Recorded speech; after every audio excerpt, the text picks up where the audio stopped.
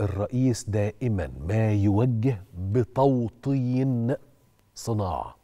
وقلنا كلمة التوطين يا سادة يا كرام وبالمناسبة كيفما حتى يراها الرئيس. مش إن أنا بصنع الورقة دي. ما هي الورقة دي بتتصنع بمكنة. السؤال بقى هو أنا بعمل المكنة اللي تصنع لي الورقة؟ لو أنا عملت المكنة اللي تصنع لي الورقة يبقى أنا كده عندي توطين صناعة وده اللي عايزه الرئيس. هنا بقى تاخد ده وتروح على صناعة شديدة الأهمية ودي بيسموها دايما الصناعة المليارية أو صناعة البليون 1 billion dollar industry صناعة المليار دولار. ليه؟ لأنها صناعة قائمة على البحث العلمي. أيوة صناعة الدواء.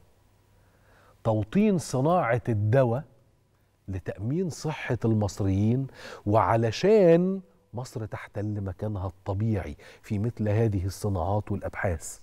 مصر بلد العقول.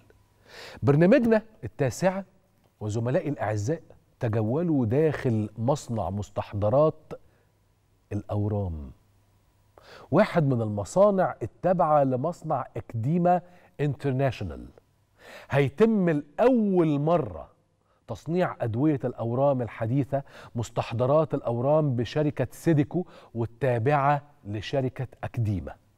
مصنع أكديما يا سادة هو مصنع من المصانع بتاعة مصر ملك الدولة المصرية واحد من أذرعها العظيمة والهامة والمؤثرة لتوفير وتوطين صناعة الدواء.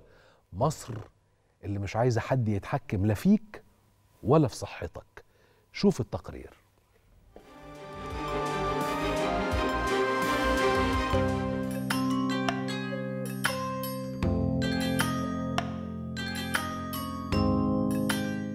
هو الحلم طبعا اللي كان موجود عشان نوفر دواء مصري بجودة عالية يبقى متوفر للمريض المصري وللمرضى حوالينا برضك من الدول الشقيقة أو الراغبة في, في الاستيراد من عندنا. الحلم ده عشان يبقى فيه أمن قومي لأن ده دواء مهم جدا بيمس حياة المواطنين ونخف الضغط في نفس الوقت على العملة الصعبة من استيراده لأن الأدوية دي غالية باهظة الثمن فبتبقى ضغط على العاهل سواء المريض لو هو هيشتريه مباشر أو عاهل الدولة اللي هي بتوفره. له فاحنا الحمد لله نجحنا دلوقتي إن يبقى عندنا مصنع.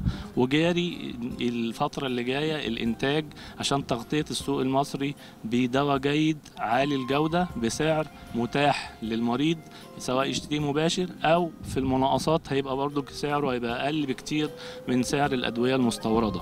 إحنا عشان طبعا شغالين في مستحضرات أونكولوجي اللي هي مستحضرات علاج الأورام وكده فال material الخامات اللي إحنا شغالين فيها دي بتبقى خطرة خطرة على البني آدم اللي شغال وخطرة على البيئة وبرضه عشان نحافظ على الكفاءة والجودة بتاعه الخامات أو بتاعه العملية الإنتاجية اللي إحنا شغالين فيها. فأنت هتلاقي المصنع هنا مجهز بأعلى التقنيات في مجال صناعة ال oncology. من ناحية إيه؟ من ناحية إن إحنا المصنع عندنا مجهز أول حاجة بحاجه اسمها dispensing isolator أو هو عمليه الوزن بتاعة الخامات المواد الفعالة للمستحضرات بتتم في معزل تام ما بين البني آدم اللي شغال وما بين العملية الإنتاجية اللي بيقوم بيها.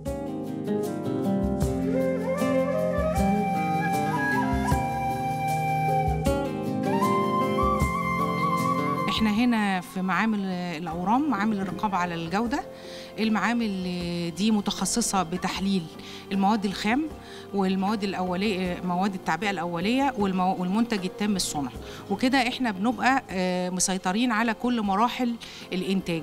فإحنا من أول ما بتبدأ المادة الخام تيجي بنعمل لها كل الاختبارات حسب الدساتير الأوروبية أو الأمريكية ونتأكد إنها مطابقة للمواصفات. ونفس الوقت بنعمل المواد التعبئة اللي هنعبي فيها المنتج. بعد كده بتدخل هي مراحل التصنيع المختلفة وبعدين بيطلع لنا المنتج تام الصنع. بنبدأ نعمل له عملية فحص تاني ونحلله ونتأكد من جودته وإنه منتج آمن وسليم ومطابق للمواصفات. التعامل مع المستحضر بيتطلب إن الموظف أو العامل اللي هيتعامل مع البودر آه، يلبس لبس خاص بيه آه، يكون يحمي جميع أجزاء جسمه من الشعر إلى آه، القدم. وبيبقى في لابس double gown هو gown الأولاني أو لبس الأولاني لما يتعامل مع مباشرة مع أي مستحضر بغير ال powder أما يتعامل مع ال powder هيدخل هذا ال- القسم أو ال- المعمل بيلبس double gown يعني يلبس لبس تاني فوق اللي هو لابسه gown تاني ليحميه تماما من ال- من التعامل مع ال powder وأي dust ت- تأثر على آه، على صحته.